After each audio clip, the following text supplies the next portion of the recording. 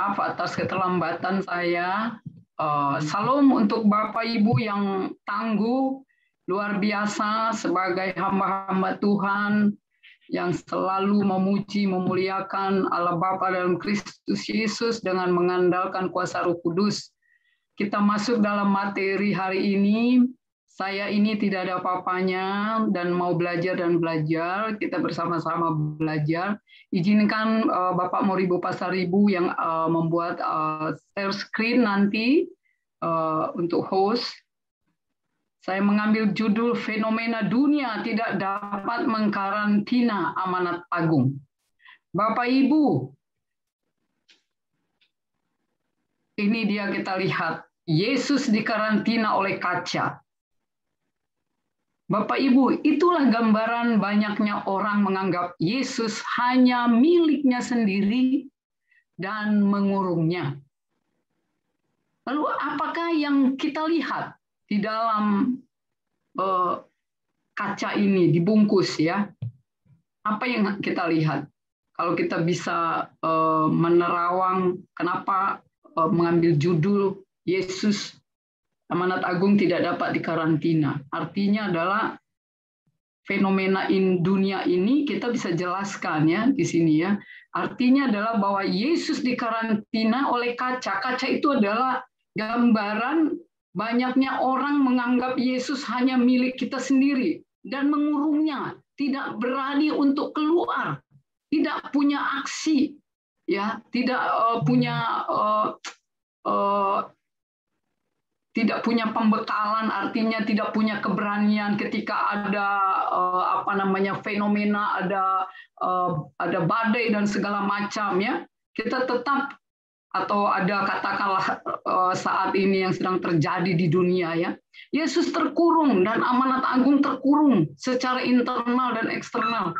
Kenapa Bapak Ibu saya mengambil fenomena dunia tidak dapat mengkarantina amanat agung? Karena memang amanat agung itu kata perintah kalau kita bisa melihat ini fenomena adalah hal-hal yang dapat disaksikan dengan panca indera dan dapat diterangkan seperti fenomena gerhana bulan atau matahari atau apa pun itu. Bencana banjir ya dan segala macam. Nah fenomena dunia ini kita bisa melihat saat-saat ini yang terjadi atau kita kilas ke belakang adanya radikalisme fanatisme ya terorisme, hoax, globalisasi, kesenjangan global, global warming, ekologi, human trafficking, drugs trafficking. Ini semua sudah ada Bapak Ibu di Indonesia.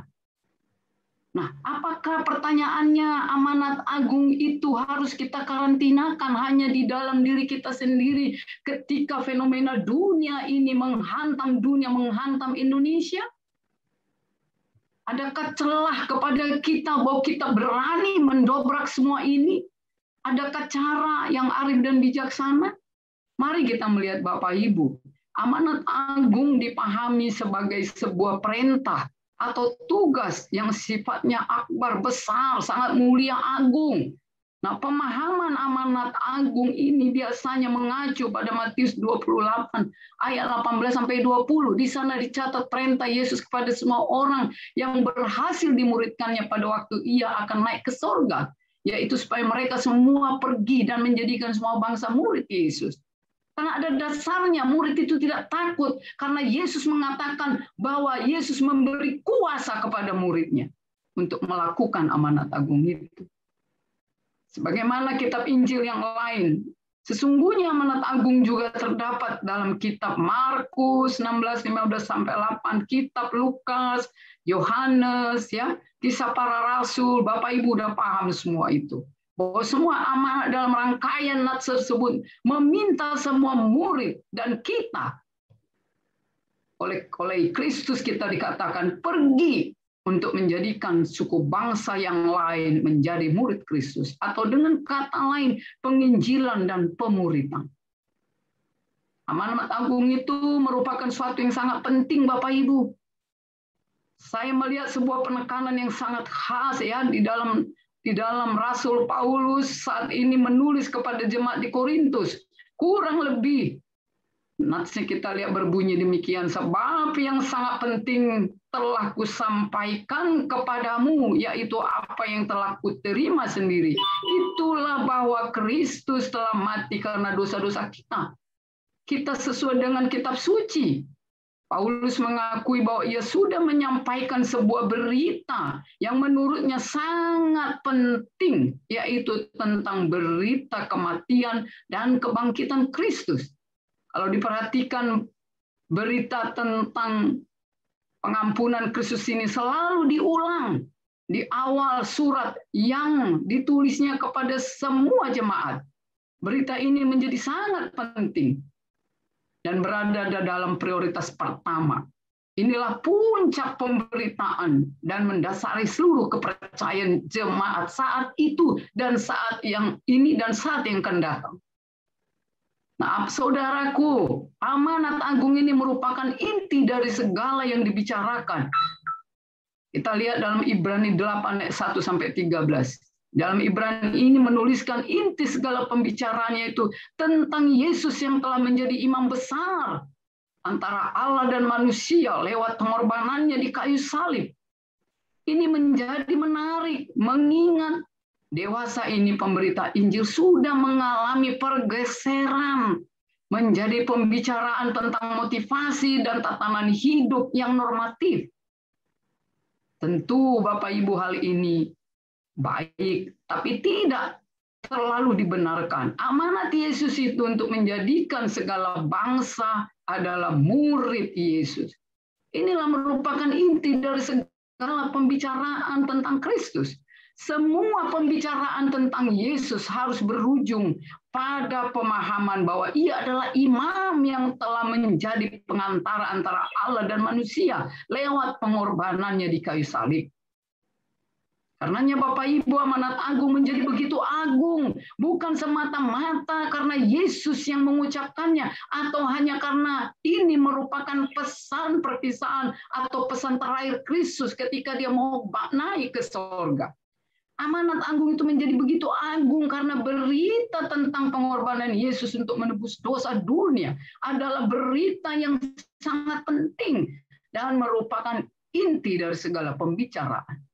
Karenanya Bapak Ibu amanat seperti inilah yang diminta oleh Yesus untuk kita kerjakan dengan berkata, kamu adalah saksi dari semuanya ini. Artinya kita semua dari yang dulu hari ini dan yang akan datang kita adalah menjadi saksi dari semua itu. Pembicaraan hidupnya. Saudaraku, mengapa kita melakukan amanat agung itu? Kita telah memahami mengapa kita harus melakukan. Karena begitu besarnya kasih Allah Bapa yang mengampuni dosa-dosa kita, kematian anaknya Yesus Kristus di kayu salib dia mengatakan sudah selesai. Maka itu respon kita adalah memberitakannya. Seperti dalam amanat agung ini. Tentulah dengan kuasa roh kudusnya. Bahwa ada dia mengatakan di ayat 18, kepadaku telah diberi kuasa. Roh Tuhan ada padaku. Ya, Yesaya 61 ayat 1 sampai 3 atau Lukas 4 ayat 18, ayat 4 sampai 18 ya, Lukas 4 ayat 18. Jadi apa yang dimaksud? Kita memang berdasarkan firman itu, kita mengandalkan kuasa Allah. Kita semuanya berdasarkan berlandaskan firman Tuhan. Inilah yang kita terjemahkan di dalam kebenaran firman Tuhan.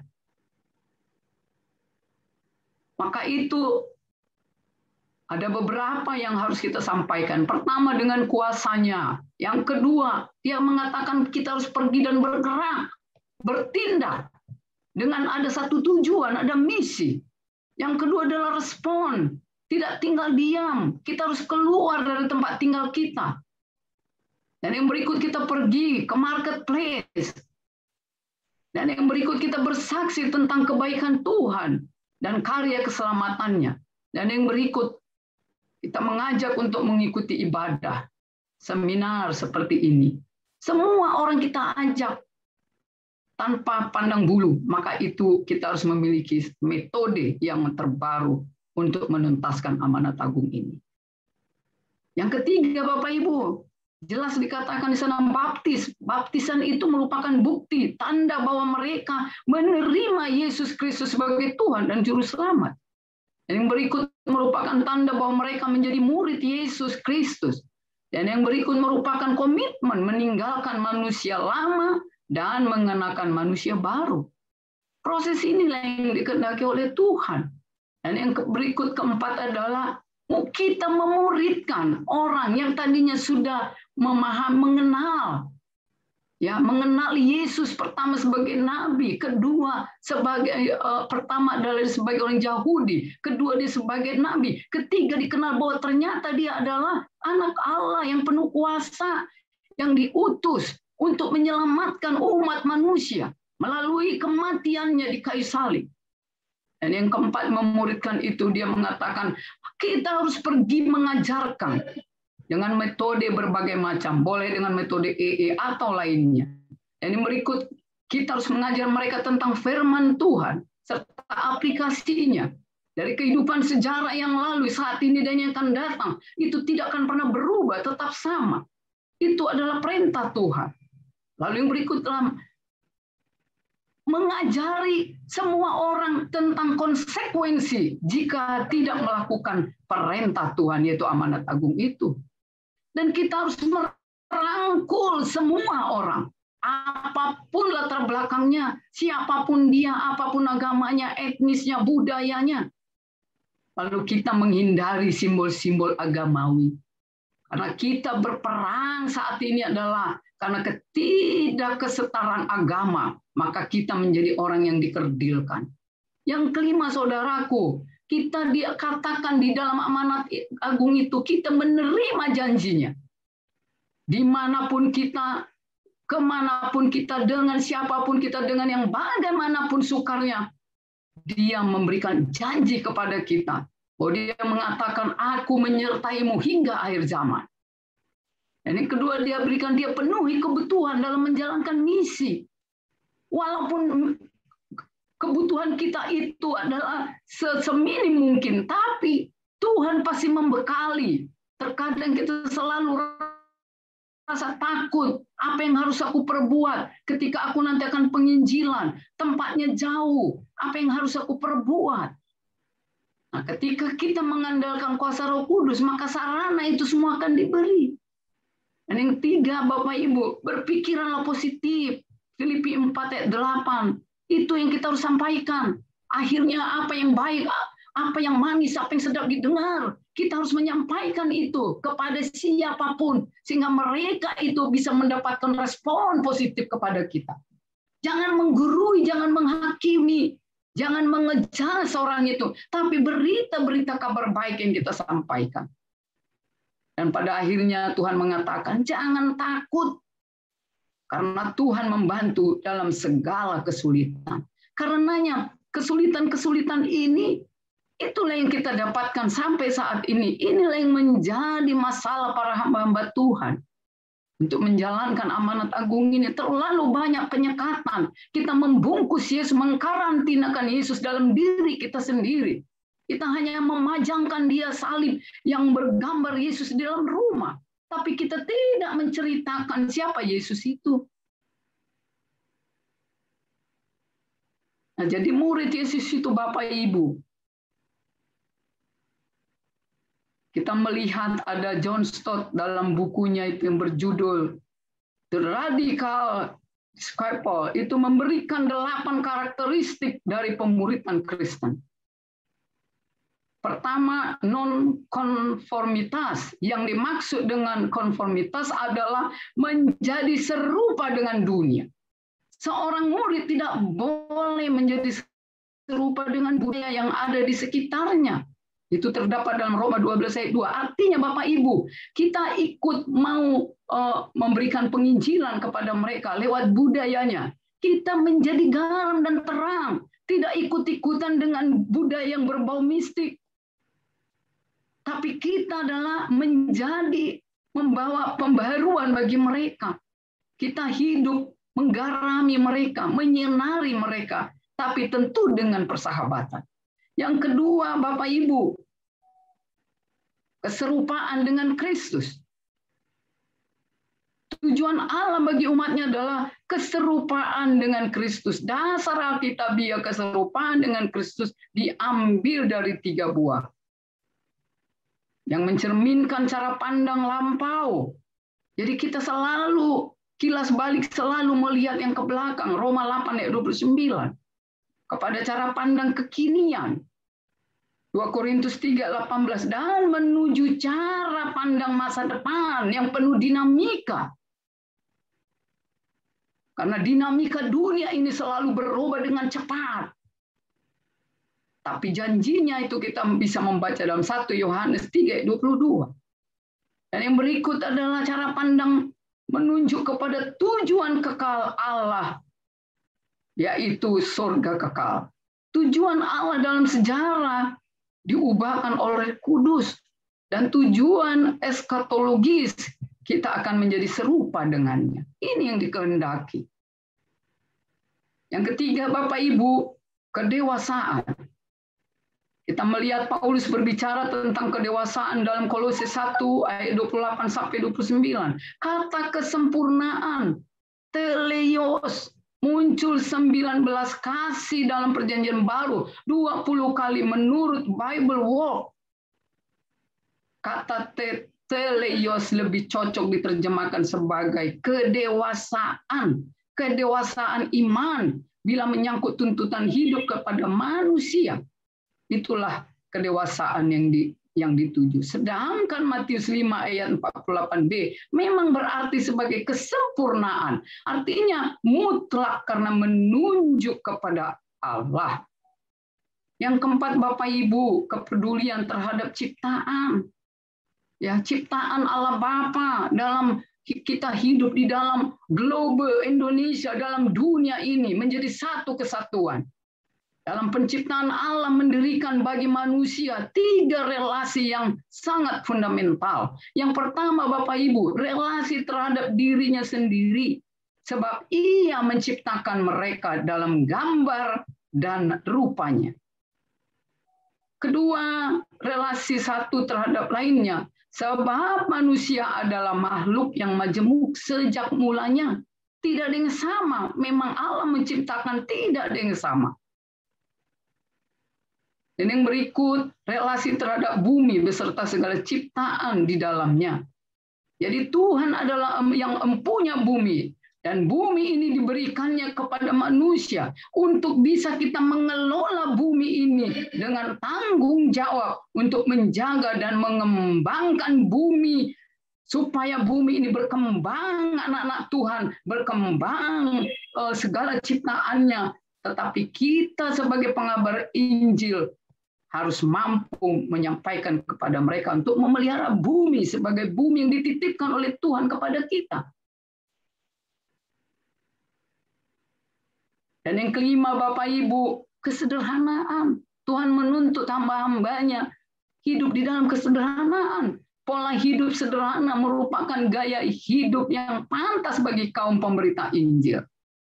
Bukan artinya sederhana itu lulu lantak, bukan. Tapi artinya sederhana, humble, ya bijaksana, rendah hati, menganggap semua orang baik, positif, Nah, Allah memberikan panggilan untuk hidup dalam kekudusan. Kita harus kudus, hamba Tuhan harus kudus, mempertahankan kerendahan hati, kesederhanaan dalam tutur kata, yang kita selalu belajar dan belajar. Tidak ada yang langsung pinter, kita selalu belajar. Itu sebabnya kita disebut sebagai murid. Murid yang mau diajar, murid yang mau belajar terus-menerus sepanjang hidup kita. Dan rasa puas itu tidak ada ketika kita mau belajar, terus haus akan pembelajaran, pembelajaran yang penuh dinamika. Ketaatan orang Kristen menuntut sebuah gaya hidup sederhana tanpa tergantung oleh kenyataan. Jadi kalau ada perubahan apa pun di dunia ini, kita tidak tergantung oleh itu. Karena landasan kita adalah firman Tuhan. Yang kedelapan Bapak Ibu adalah kesinambungan atau katakanlah keseimbangan. Ya, dalam eksposisinya pada 1 Petrus 2 ayat 1 sampai 17 Tut mengatakan bahwa Petrus sebagai penulis menyamakan seorang percaya bayi yang baru lahir dengan tanggung jawab untuk bertumbuh. Nah, kita melahirkan bayi, kita bertanggung jawab memberikan dia pengasuhan ya di dalam tumbuh kembangnya. Semua kita bertanggung jawab. Yang berikut batu-batu hidup dengan tanggung jawab untuk bersekutu. Kita bertanggung jawab dengan lingkungan kita, keluarga kita untuk selalu menciptakan persekutuan lebih awal. Yang berikut adalah keimanan kudus dengan tanggung jawab dalam penyembahan. Ketika kita memulai pujian, kita menyembah, kita betul-betul mengosongkan hati kita dihinggapi oleh kuasa Roh Kudus sehingga penyembahan itu betul-betul tertuju kepada Allah dan Allah senang mendengarkan penyembahan kita. Hati kita tidak diselimuti oleh roh-roh kejahatan. Tidak ada dendam, tidak ada rasa sirik, tidak ada rasa kebencian. Kita datang menyembah Yesus. Dia akan senang hati dia. Berikut umat kepunyaan Allah sendiri dengan tanggung jawab untuk bersaksi. Kita dituntut untuk bersaksi, kita diberkati apa pun. Ketika orang mendoakan kita, kita mendapatkan pemulihan, kita bersaksi, kita pergi juga terbeban untuk mendoakan orang-orang yang susah yang sakit, yang terpenjara, yang marginal. Dan yang berikut sebagai perantau dan pendatang kita dipanggil kepada kekudusan. Kita harus mempertahankan bahwa kita hidup kudus. Mulut kita kudus, mata kita kudus. Kita tetap ketika ada cobaan di depan mata kita, kita tetap ter, selalu mengatakan, oh praise the Lord. Bantu aku untuk selalu hidup kudus, karena tubuhku ini adalah baik suci Allah. Dan yang berikut sebagai pelayan-pelayan Allah, dipanggil ke dalam keluarga negaraan kerajaan surga. Itulah buah-buah kita ketika kita mau pergi menjalankan amanat agung ini. Apa yang kita sampaikan di dalam pemberitaan Injil itu, itu harus berbuah dan keluar masuk orang yang mendapatkan amanat agung itu boleh mengemban tugas itu, memultiplikasikan orang yang percaya kepada Tuhan Yesus sebagai Tuhan dan Juru Selamat. Dan yang ketujuh, kebergantungan. Ya, dengan tegas mengatakan sebagai orang-orang yang berdosa harus senantiasa bergantung kepada Allah untuk belas kasih dan anugerahnya. Mencoba untuk hidup tanpa dia adalah makna dosa yang sebenarnya. Jadi kita tidak bisa hidup tanpa Allah. Kita selalu bergantung kepada Yesus seperti bayi yang selalu haus akan air susu. Seperti itulah kita, bergantung terus di dalam suka dan duka. Penolakan untuk bergantung kepada orang lain bukan tanda kedewasaan, melainkan ketidakdewasaan. Bahkan Kristus sendiri memilih untuk dilahirkan sebagai bayi yang bergantung dalam perawatan Maria seperti ibu yang merawat bayinya. Seperti itu juga firman Tuhan selalu di-maintain, selalu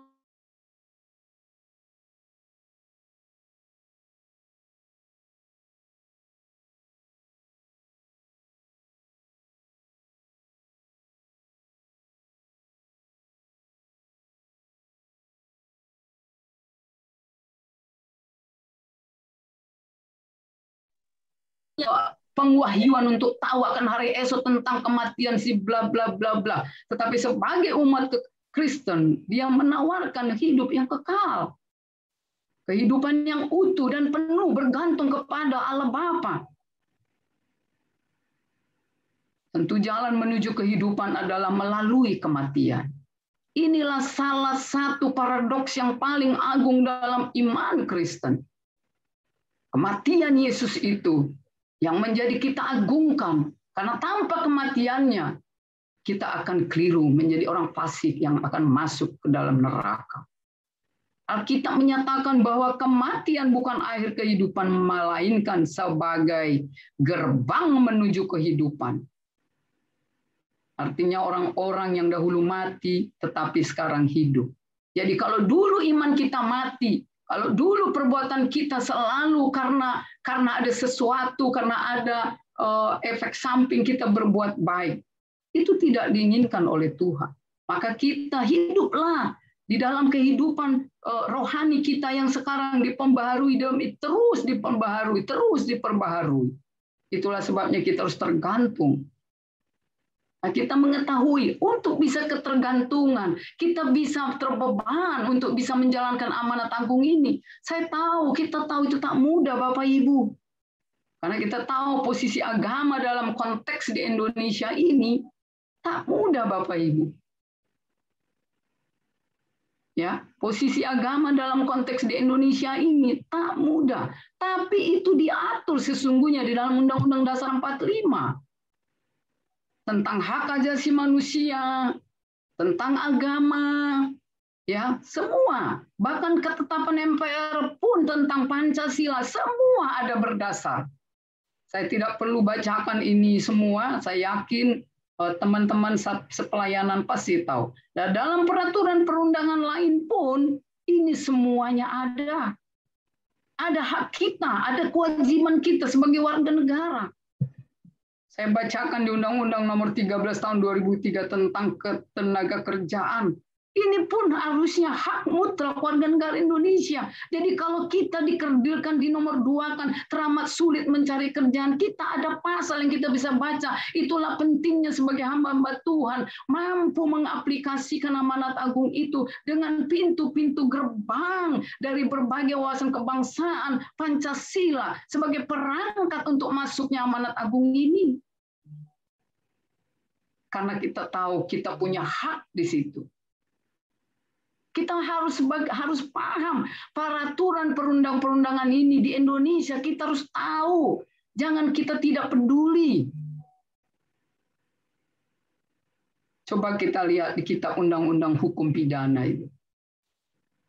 Barang siapa dengan kekerasan atau ancaman kekerasan merintangi pertemuan keagamaan yang bersifat umum dan diizinkan atau upacara keagamaan yang diizinkan atau upacara penguburan jenazah diancam dengan pidana penjara paling lama satu tahun empat bulan. Sebenarnya kita sebagai masyarakat tahu harus paham tentang undang-undang ini. Setiap orang bebas memeluk agamanya masing-masing untuk beribadah. Bahkan sebenarnya di dalam aturan peraturan di Kementerian Agama pun kita punya hak untuk mendapatkan pembinaan dalam bentuk edukasi, pendampingan, itu semuanya ada. Tapi mengapa hamba-hamba Tuhan mengurung amanat agung itu hanya untuk diri sendiri, di rumah, di keluarga, di gereja. Dia tidak bisa secara leluasa masuk ke semua lini kehidupan yang ada dalam aturan peraturan di bangsa negara kita. Saudaraku, Bapak Ibu yang tangguh dan hebat luar biasa. Marilah kita membuka belenggu. Marilah kita mengangkat karantina itu. Kita melepaskan pembatas itu, tembok-tembok yang tidak kita pahami itu.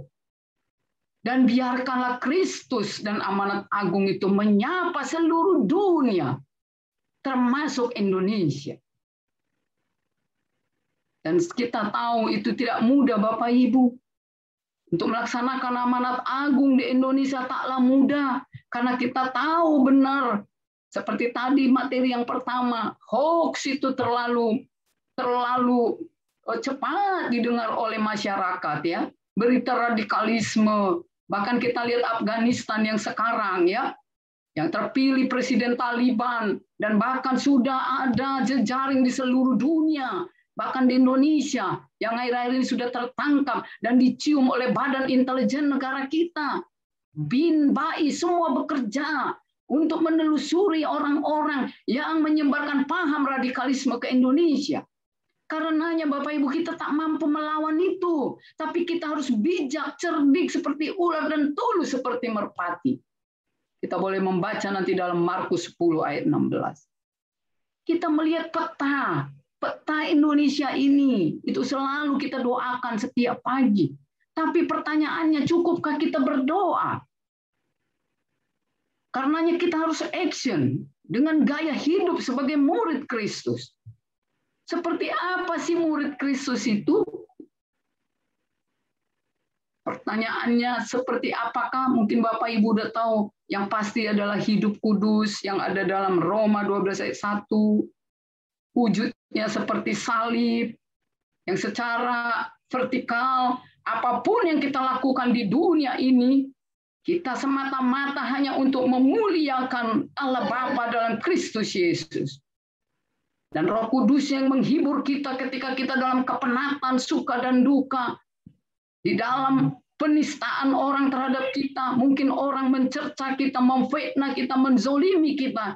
Kita menyerahkan secara vertikal. Ya Allah, Bapa yang baik. Secara vertikal apa pun yang saya lakukan ini, ketika tidak baik di mata manusia, ketika tidak baik di mata siapa pun, saya percaya Engkau termulia karena apa yang kami kerjakan ini adalah untuk kebesaran dan kemuliaan-Mu.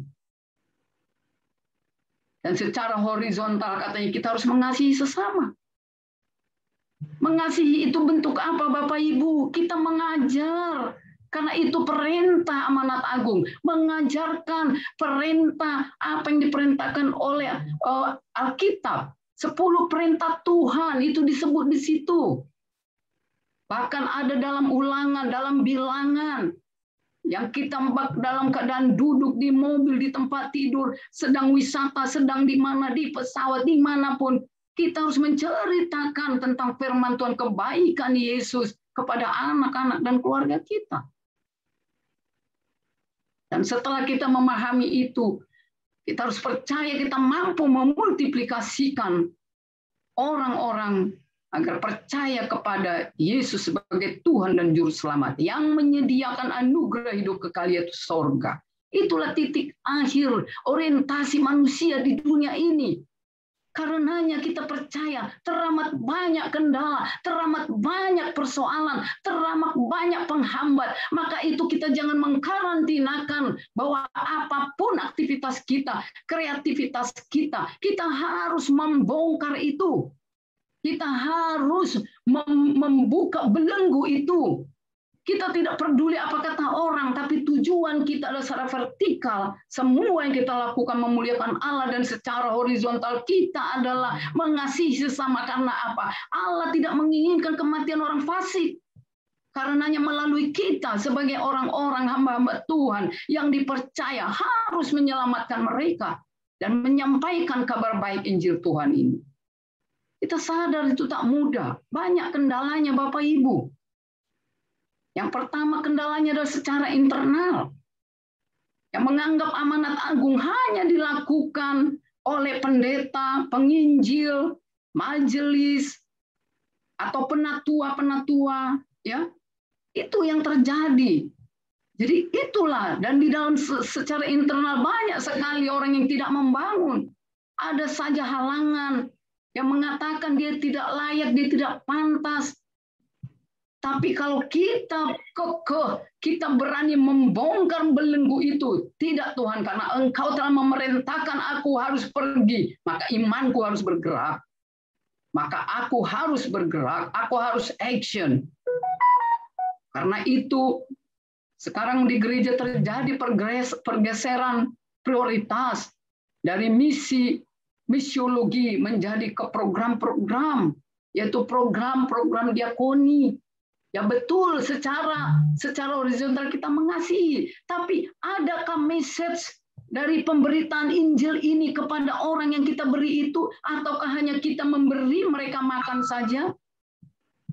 Kalau mereka mengatakan terima kasih ya Pak, ya terima kasih kepada Tuhan Yesus ya nak.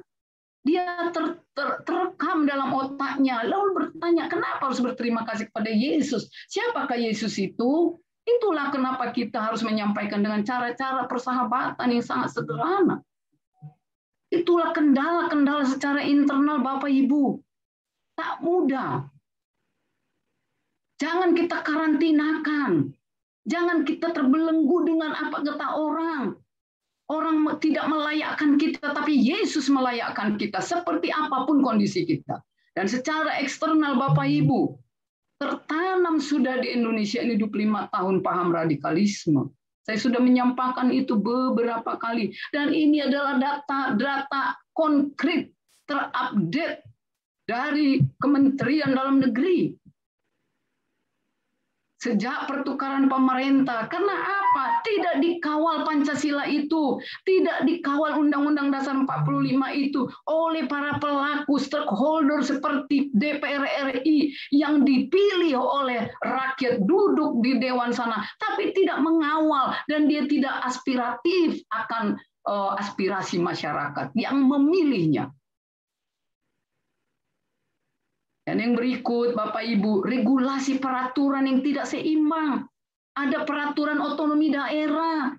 Kalau ada membangun gereja, harus ada tanda tangan kurang lebih 150 orang lah, berapalah, terlalu banyak. Itulah intrik-intrik mereka untuk mengurung Yesus ini untuk tidak diberitakan. Apakah kita harus tinggal diam, Bapak Ibu? Apakah kita harus membungkus Yesus di dalam kaca rumah kita, dalam diri kita? Apakah kita tidak dituntut oleh Tuhan Yesus? Engkau paham akan kebenaran, engkau paham akan tugasmu, tapi engkau tidak mau melakukannya. Karena itu Bapak Ibu, sebagai hamba Tuhan, masyarakat yang hidup benar-benar mau menjalankan amanat agung ini, kita harus mampu membongkar belenggu itu. Dan kita harus paham regulasi peraturan bangsa negara kita yang termuat dalam Undang-Undang Dasar dan Pancasila. Di sanalah berada apa tentang hak kewajiban dan tanggung jawab kita.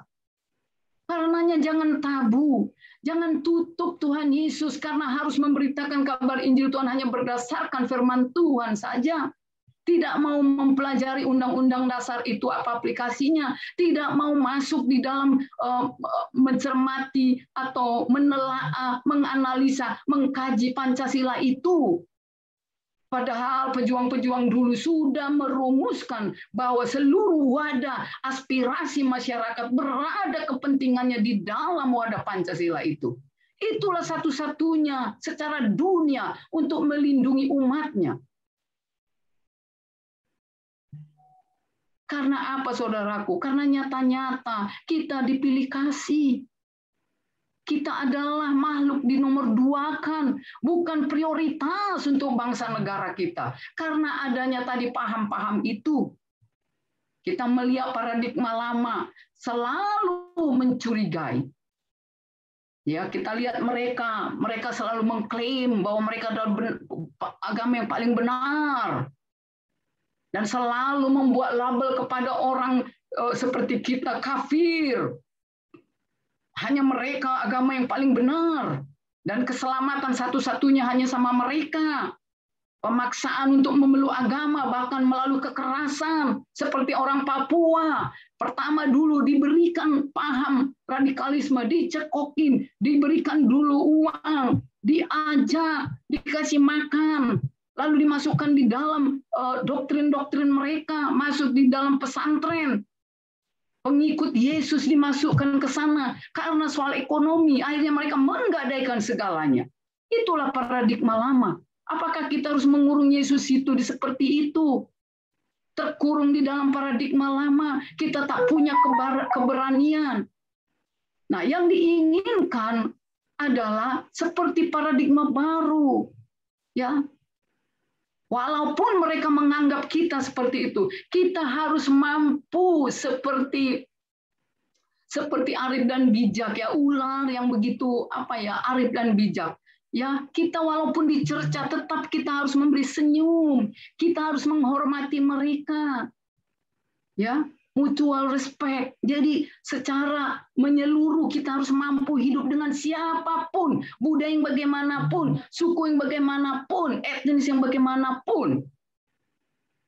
Baiklah kita pendam di dalam diri kita, tapi ada satu misi adalah saya harus menjadi pemberita kabar baik Injil Tuhan. Amanat agung itu harus terlaksana.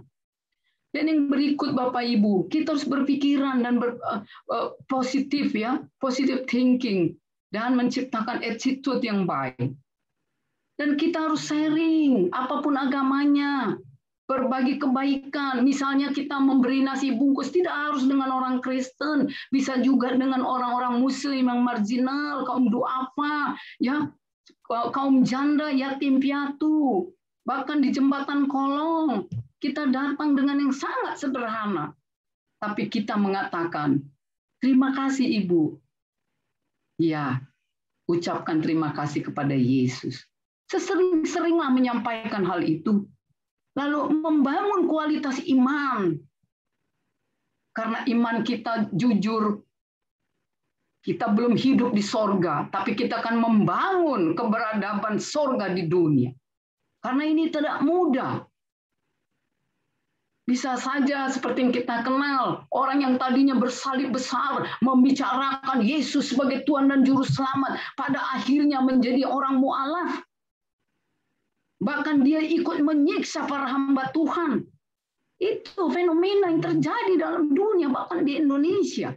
Dan khususnya di Indonesia itu yang terjadi. Karenanya Bapak Ibu, amanat agung yang dapat diterapkan di Indonesia adalah harus punya strategi dan trik yang bijak. Ya artinya kita tak ada pemaksaan, tapi dengan cara kita mereka menjadi ikut agamamu, agamamu, agamaku, agamaku. Kita tidak saling tidak uh, mencampuri agama dia, tapi aplikasinya tindakan kita mencerminkan karakter Yesus untuk bisa hidup berdampingan dengan mereka. Agama yang diakui di Indonesia ada enam agama.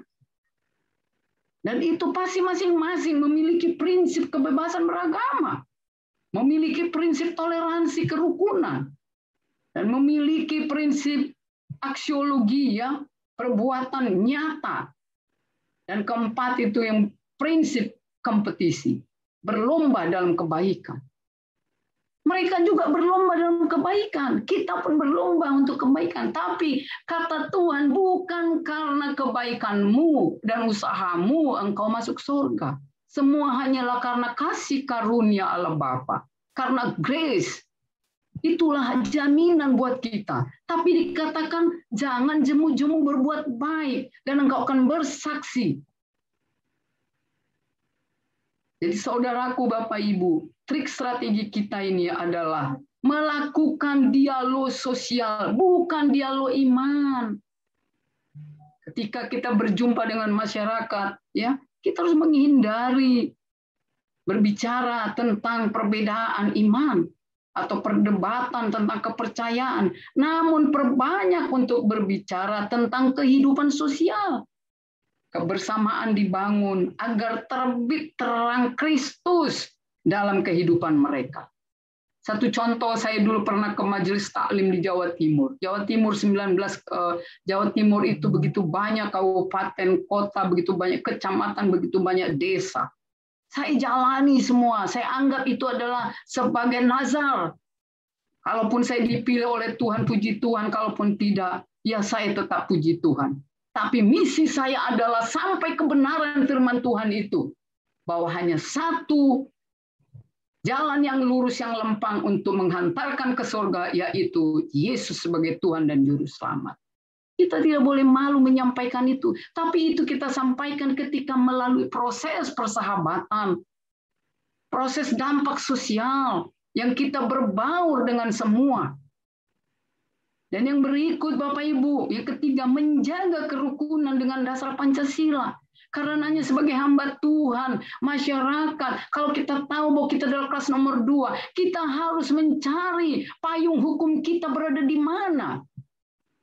Jelas sebagai panduan kita adalah firman Tuhan. Tetapi secara dunia, supaya amanat agung ini bisa kita tuntaskan, maka kita harus arif dan bijaksana. Caranya adalah kita menjaga kerukunan, tapi kita juga masuk untuk memberikan edukasi-edukasi yang ada dalam Pancasila sesuai dengan kesepakatan bersama dalam mendirikan negara ini. Maka yang menjadi pijakan dalam hidup bersama di Indonesia adalah Undang-Undang Dasar. Inilah cikal bakal kita menyampaikan ke masyarakat, memberikan edukasi, wawasan kebangsaan yang berlandaskan Pancasila. Dan sebagai fokus tujuan melakukan adalah kita dalam satu frame bineka tunggal ika. mengakui pluralisme, kemajemukan, tapi dengan cara dampak sosial. Kita bersahabat dengan sesederhana, tidak perlu menonjolkan diri, tapi kita masuk merelungi hati dia. Supaya apa? Supaya misi kita sampai kepada mereka yang mendengarkan kalimat-kalimat kita. Dan yang keempat Bapak Ibu, merangkul semua budaya. Itu yang saya sering mengatakan, mari kita silent but action. Kita bisa melihat kalau di Jawa Timur ada uh, pagelaran pagelaran apa pun itu, kita datang, tapi kita menjadi mutiara di sana, menjadi garam dan terang. Sehingga mereka tidak keliru ya dalam uh, budaya-budaya okultisme. Kita menyampaikan pesta budaya yang berbasis kerajaan Allah. Bisa kita terapkan di bangsa ini Contohnya Bapak Ibu, kita mendatangi Kementerian Pariwisata, kita menyampaikan proposal, kami mau bikin pesta budaya dengan judul mungkin pujilah Allah dengan budayamu. Hargailah budayamu, maka budaya itu akan menjadi dipertontonkan oleh semua. Tapi budaya itu mencerminkan amanat agung, mencerminkan betapa Yesus yang datang ke dunia ini adalah tidak menginginkan kematian orang fasik, tapi dia datang untuk menebus dosa manusia. Dia tidak datang kepada orang yang tak berdosa, sebesar apa pun dosanya, dia akan mengampuni